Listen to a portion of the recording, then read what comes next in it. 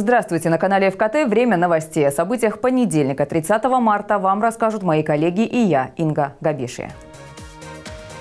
Спустя месяц в Сочи нашли тело одного из мальчиков, которых унесло в море в феврале. Откуда, куда и с какой целью? На Сочинском вокзале проверяют всех прибывающих пассажиров. И оказалось, не зря. Больше 900 мишеней и все в цель. Артиллеристы Южного военного округа завершили учения в Абхазии. 2 миллиона на проект или полмиллиона на образование. Сочинцы могут подать заявку на конкурс «Доброволец России».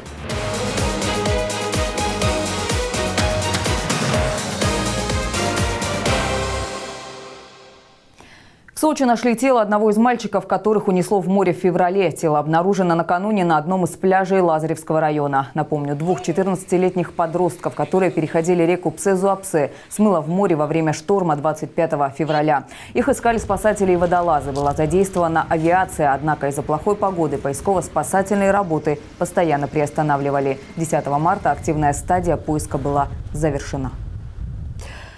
Карантин – это не повод отправляться в путешествие. Отели, гостиницы и санатории Кубани перестали принимать желающих переждать всплеск опасного заболевания в приморских городах. Постановление о приостановлении приема отдыхающих подписал губернатор края. Как будет исполняться распоряжение, краевые власти обсуждали на заседании оперативного штаба.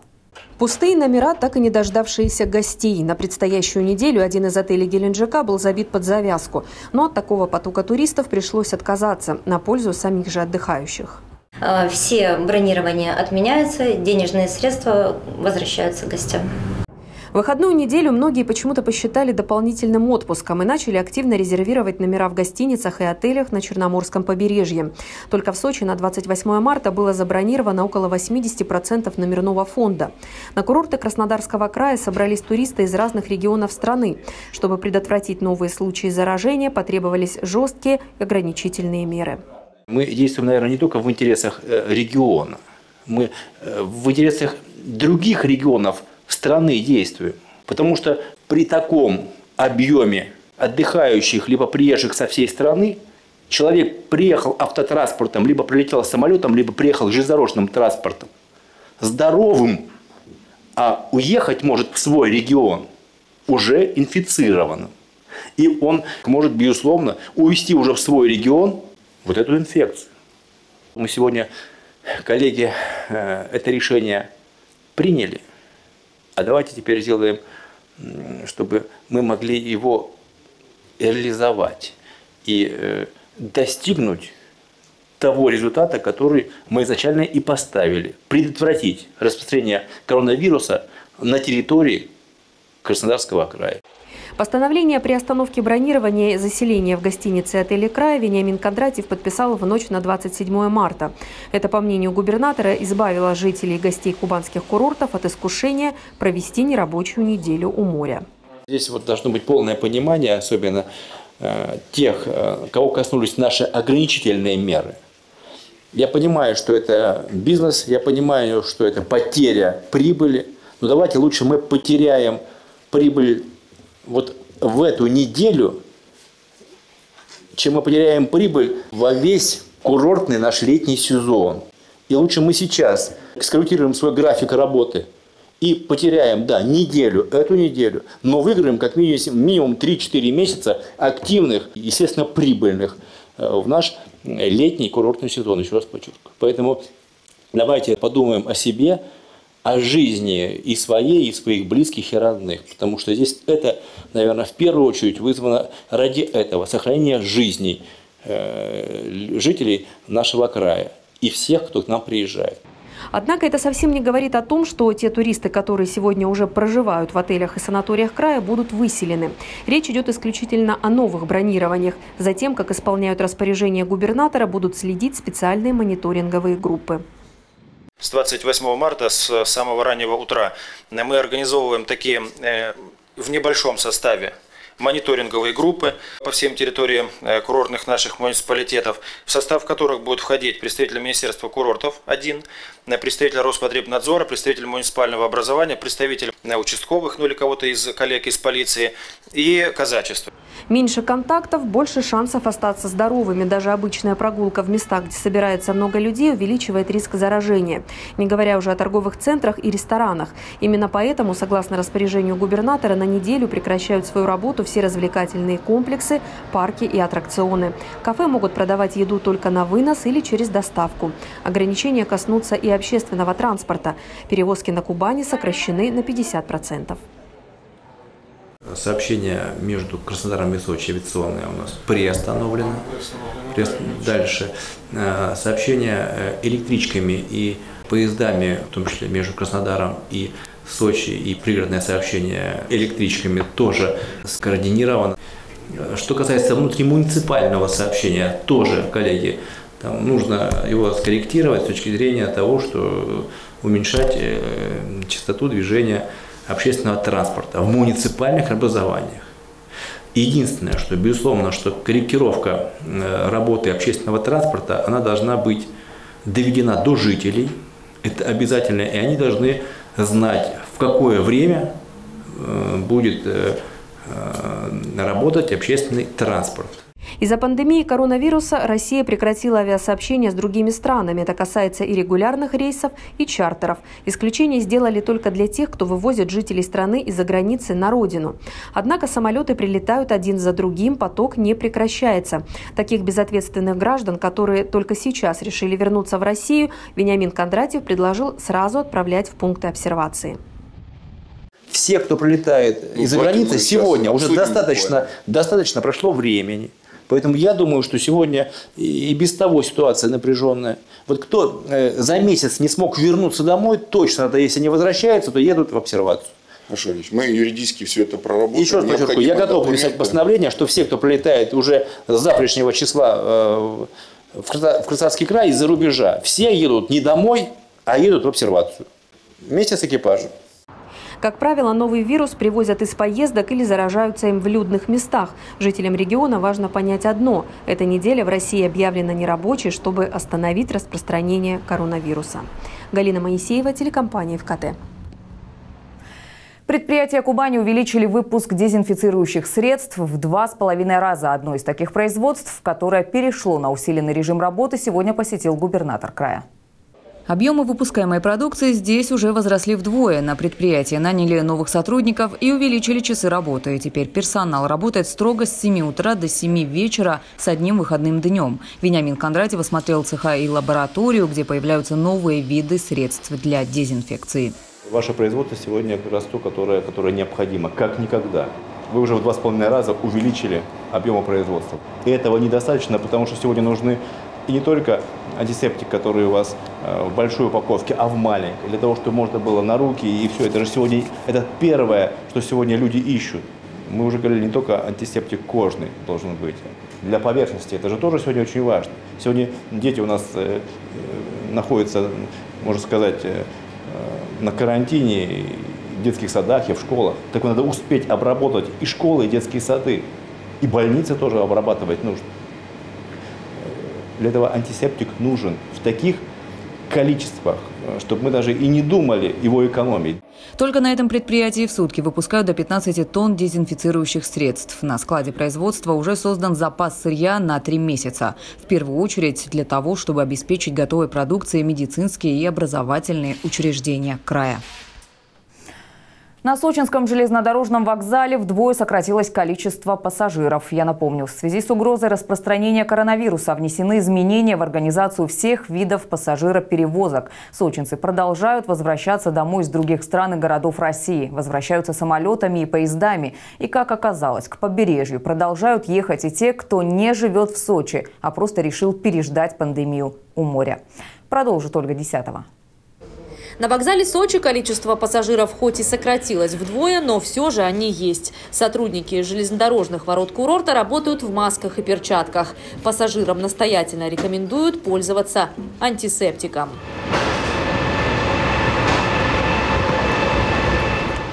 На первый путь прибывает поезд Москва-Адлер. Людей на перроне совсем немного. Полиция проверяет прибывающих в Сочи. Откуда приехали и с какой целью. Евгений Павлович, тем более 1954 года рождения. Вас должны были предупредить, что возрасте люди, но я понимаю, но это не, маска не дает вам гарантии. Вы куда прибыли конкретно, адрес можете назвать? Гостиница как назвать? Мы на частную сектор приехали. Ну, вы знаете, что с постановления губернатора номер 129 закрыты все гостиницы. О распоряжении слышали, но, видимо, как это бывает, понадеялись на авось. На что надеялась эта семья, тоже неизвестно. Эти люди вернулись в Россию из Индонезии. 28.03 пересечение границы. А откуда вы приехали? Тут написано Индонезия. Прилетели в Москву самолетом, оттуда поездом до Сочи, как сами говорят, на карантин. У нас здесь а, ребенок учится в школе. Мы здесь уже 6 лет находимся. Мы решили для себя, что нам удобнее приехать а, в Сочи и здесь просто побыть, потому что мы здесь и работаем, и а, сам, а, ну, то место, где мы здесь живем, оно чуть-чуть побольше, чем московская у нас квартира. И поэтому мы решили, что здесь нам будет комфортнее. Мы, э, когда прилетели, нас э, проверили температуру. Все было очень четко. Было много столов. Были люди, которые нам все объяснили. Мы спросили, можем ли мы сейчас э, доехать до Москвы, сесть в поезд и доехать до Сочи. Нам сказали, да, добираемся сейчас до дома и садимся на полный карантин. Но у Роспотребнадзора свой сценарий развития событий. Семью решили отправить на изоляцию в обсерватор под наблюдение медиков. Краевой оперативный штаб напоминает, что люди, которые вернулись из-за границы, должны две недели находиться в изоляции. Нарушение режима влечет административную ответственность. Сотрудники Краевого Роспотребнадзора уже выписали 40 штрафов. Повторное нарушение грозит уже уголовной ответственностью. Сейчас на домашнем карантине в регионе находится 2892 кубанца. В обсерваторах размещены 42 человека, 3 в Краснодаре и 39 в Сочи. В администрации курорта еще раз напоминают, в городе закрыты все гостиницы, магазины и кафе. Отдыха здесь не получится. Все на домашней самоизоляции. В мэрии еще раз просят отказаться от поездок в Сочи. В городе сокращено количество транспорта, введены ограничительные меры губернатором Краснодарского края Вениамином Ивановичем Кондратьевым по межрегиональным пе- перевозкам. Вну- Внутри э, города мы сократили полностью э, маршрутную сеть э, до необходимого уровня, три раза в день, утро, обед и вечер. Проводится информирование прибывших гостей и жителей в город-курорт Сочи о необходимости соблюдать карантинные меры, о необходимости находиться дома. Люди, которые прибывают сюда с целью туризма, разъясняются, если они вдруг не получили разъяснения от своего туроператора, разъясняются нашими работниками, работниками полиции и Росгвардии на э, железнодорожных вокзалах о необходимости вернуться домой. В Краснодарском крае сократили количество электричек, отменили автобусные рейсы между городами, закрыто авиасообщение между Краснодаром и Сочи. На посту Магри поток автомобилей на въезд в Сочи снизился вдвое. Сейчас это около двух тысяч автомобилей в сутки. В основном въезжают местные жители. Все ограничения введены для того, чтобы у людей не было соблазна путешествовать или пережидать пандемию у моря. В конце прошлой недели на курорте было около 52 тысяч отдыхающих. Сейчас, по информации мэрии, осталось 21 тысяча туристов, которые, как и все сочинцы, обязаны обеспечить самоизоляцию. Добавлю, что всего в Краснодарском крае было зафиксировано 17 случаев коронавируса, 8 из них в Сочи. Двое пациентов в крае уже выздоровели и были выписаны. Ольга Десятого, Михаил Дубинин, Алексей Давыдов, телекомпания ФКТ. Напомнить сочинцам и гостям города о том, что эта неделя – время для самоизоляции решили и на улицах курорта. Убедительная просьба вернуться домой. Воздержитесь от прогулок. Находясь на улице, вы подвергаете свою жизнь и жизнь других людей опасности. Такие машины будут курсировать по городу, причем не только по центральным улицам. Сочинцев просят не пугаться, а прислушаться к совету и лишний раз не выходить из дома. К новостям вернемся после прогноза погоды. Не переключайтесь.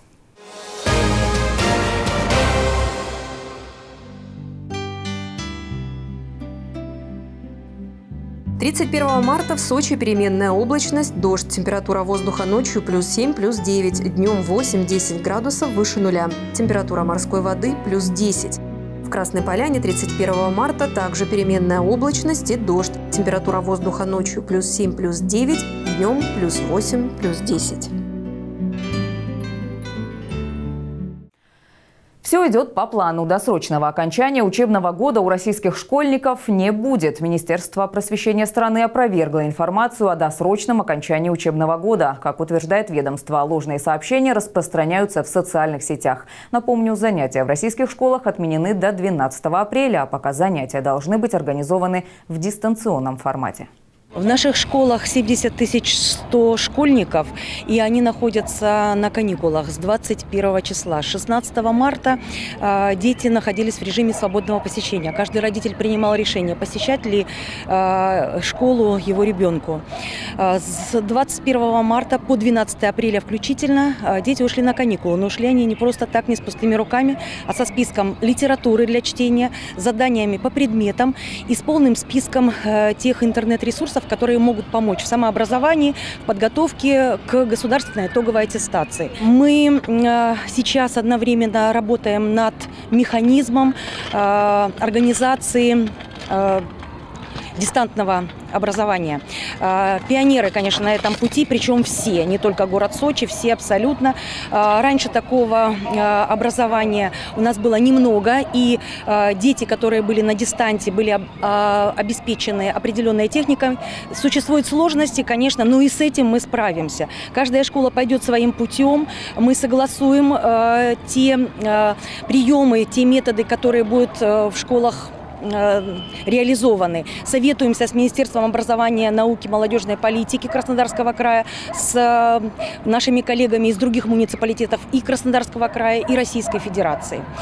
Э, наши учреждения дополнительного образования с 21 марта по 12 апреля включительно также на каникулах. Не ведется занятие ни в центрах дополнительного образования, ни в детско-юношеских спортивных школах. Детские сады с 16 марта были на свободном посещении. Каждый родитель принимал свое индивидуальное решение. А, на сегодняшний день также свободное посещение а, у нас функционирует. В 76 детских садах сегодня а, у нас 59% детей на сегодняшний день. А в садах вообще воспитывается 26 с небольшим тысяч детей. А, с 30 марта по 5 апреля а, в России объявлена нерабочая неделя. И не будут работать ни школы с дежурными группами, ни детские сады, ни, естественно, центры дополнительного образования.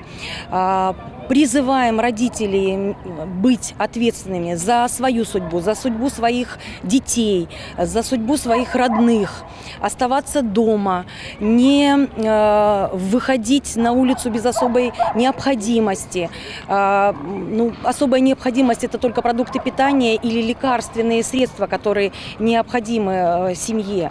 Э, не общаться с даже родными и близкими друзьями, которые живут э, в других квартирах, квартирах, других домах, а, оставаться изолированными. Все эти меры предпринимаются нашим государством для того, чтобы снизить а, масштабы распространения а, мировой пандемии, масштабы этой ужасной болезни. Мы сегодня с утра направили каждому родителю, а у нас семей таких более 96 тысяч, и школьников, и дошкольников, нашу, наше смс-сообщение, в котором говорится об ответственности и призываются все э, к тому, чтобы находиться дома, оставаться дома, помогать нашей стране, помогать себе самому и своим родным. Э, все э, ресурсы, о которых я говорила, списки литературы, бесплатные порталы для развлечения с целью саморазвития, для подготовки к предметам и к государственной итоговой аттестации расположены на сайте Управления по образованию и науке администрации города Сочи, на главной странице сразу открываете сайт и можно найти рубрику «Проведи каникулы с пользой». Сегодня мы получили сообщение, что и единый государственный экзамен, и основной государственный экзамен будут перенесены, соответственно, на 8 и 9 июня. Мы информируем обязательно на сайте, а, обязательно информируем в соцсетях, на всех сайтах, не только на сайте управления, и, э, конечно, в режиме э, WhatsApp сообщений. По э, вопросу продления учебного года, ну, пока мы не имеем сведений, к сожалению. Но, естественно, если сроки ЕГЭ перенесены, наверное, логично будет думать, что и учебный год будет продлен. Мы, э, конечно, на особом контроле держим э, всех наших детей особого внимания. Э, детей учетников, которые состоят уже по тем или иным причинам на, на внутришкольном учете, на учете в комиссии по делам несовершеннолетних. Прозваниваются в семьи, узнаются, чем занимаются дети, как они проводят свое время. Коронавирус вмешался и в спортивные планы города. В Сочи из-за пандемии перенесли все спортивные мероприятия. В городе прекращена работа спорт, школы и федераций. На сегодняшний день в связи со сложившимися обстоятельствами в городе Сочи э, отменены все спортивно-массовые мероприятия, все физкультурные мероприятия, приостановлена деятельность всех спортивных школ города Сочи, всех, работа всех федераций, э, всех спортивных организаций. И мы, э, так же как и все, рекомендуем, чтобы сегодня все находились дома, для того, чтобы продолжили люди заниматься физической культурой и для детей, и для лиц серебряного возраста. Мы в социальных сетях разрабатываем постоянно комплексы набора упражнений. И если человек э, зайдет э, в, на страницы в Instagram, на страницы в Facebook или другие социальные сети нашего департамента, то там можно будет для себя найти необходимый комплекс э, тренировочных упражнений и на домашнем, находясь дома, продолжить заниматься физической культурой. Поэтому когда уже все это нас минует, когда все пройдет и будет дано особое распоряжение дополнительное, мы, конечно же, продолжим заниматься физкультурой, спортом, но сегодня нужно посидеть дома, но при этом не забывать и о своем здоровье. Поэтому занимайтесь спортом дома, будьте здоровы. Все понимают, что любая беда, она когда-нибудь закончится обязательно, и поддерживать себя в физической форме, тем более, если это человек-спортсмен, это просто жизненная необходимость, поэтому именно те комплекс мер и наши тренеры, когда они работают удаленно со спортсменами, они в таком же режиме проводят тренировки, следят за спортсменами, э, проводят с ними обучающие также э, разговоры, общение. Поэтому наши тренера и наши спортсмены постоянно находятся в контакте, Просто сейчас мы перевели всю работу в удаленный режим. С 16 марта были отменены все соревнования. Количество, конечно, это большое. Это и всероссийские, и международные, и региональные, и краевые. Э, к сожалению, отменены такие крупные соревнования, как наша ежегодная велогонка, которая посвящена 75-летию Победы. Э, отменена финальная часть ночной хоккейной лиги. Э, закрыт на до особого распоряжения Югспорт, и все тренировки сборных команд России, к сожалению, тоже отложены, перенесены, либо отменены. Поэтому, конечно же, э, большое количество спортивных мероприятий, которые планировались провести в этот период в городе Сочи, они отменены.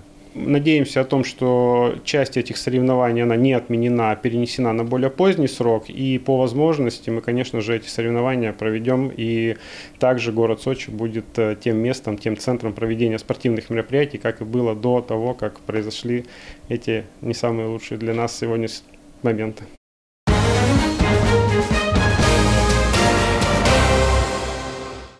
А мы продолжаем наш проект «Календарь Победы». 30 марта 1945-го советские войска взяли Гданьск. Также наши воины вступили на территорию Австрии. Прорвана оборона немцев севернее Дуная и южнее озера Балатон. В Москве в честь этих побед были даны три салюта. Во время взятия Гданьска, важнейшего порта и военно-морской базы на Балтийском море, взято в плен 10 тысяч немецких солдат и офицеров. В качестве трофеев захвачены 84 самолета, 140 танков, 45 подводных лодок, 306 паровозов.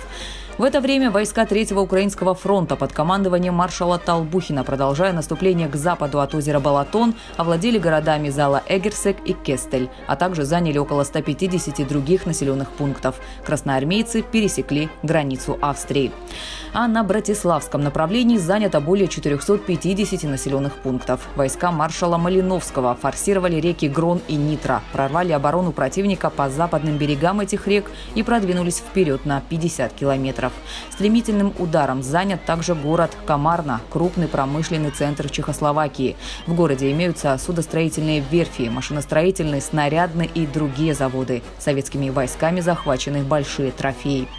В это время союзниками занят Франкфурт на Майне. Американская авиация продолжает бомбить север Германии. На побережье Северного моря массированным ударом подверглись верфь, где строились подводные лодки, а также нефтехранилища и портовые сооружения. В тылу в это время заботятся о весеннем севе. Газета «Правда» посвящает целую полосу материалам о соцсоревновании по проведению весеннего сева в сжатые сроки. Например, в Киевской области площадь посевов увеличилась на треть. В отдельных районах объемы равны довоенным. В Херсонской области засеяны 20 гектаров подсолнечника. А газета «Красная звезда» публикует фотографию, на которой боевые друзья, летчики поздравляют дважды героя майора Ивана Кожедуба, сбившего 60-й немецкий самолет над Одером. 30 марта родился советский авиаконструктор Сергей Ильюшин. Его самолеты, дальние бомбардировщики Ил-4 и штурмовики Ил-2 прославились в годы Второй мировой войны. В 1944 году конструкторское бюро Ильюшина приступает к созданию принципиально новой на тот момент реактивной авиации. Самолеты Ил-12, которые стали производить на следующий после окончания войны год, позволили заметно увеличить пассажирские перевозки. Следом был разработан еще ряд пассажирских самолетов. Также 30 марта родился дважды Герой Советского Союза Алексей Федоров. Он считается одним из создателей тактики партизанской войны во время Великой Отечественной.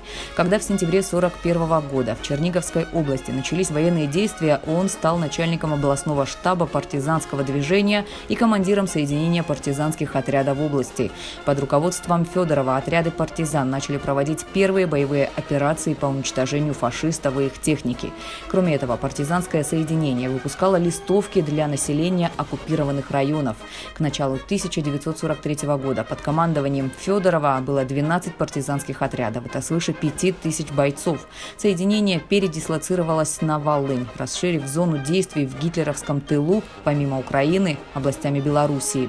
Выдающейся операцией стал Ковельский узел. Партизаны под командованием Федорова уничтожили на линиях Ковельского железнодорожного узла 549 вражеских эшелонов с боеприпасами боеприпасами, горючим и военной техникой.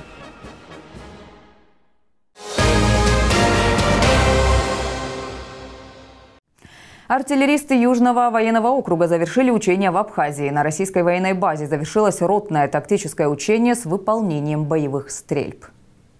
На завершающем этапе учения подразделения выполнили более 100 выстрелов из 120 миллиметровых минометов. Цели условного противника были уничтожены массированным огневым ударом из укрытий. Стрельбы проводились в ночное время в условиях горно-лесистой местности, в том числе из ручных противотанковых гранатометов, автоматических гранатометов «Пламя», орудий бронетранспортеров и артиллерийских гаубиц. Всего в учении приняли участие более 500 военнослужащих. Задействовано было 100 единиц военной техники. Работаем по целям 101 Выстрел! пехота. И вторая цель, это 102 цель КНП. Мина в стволе!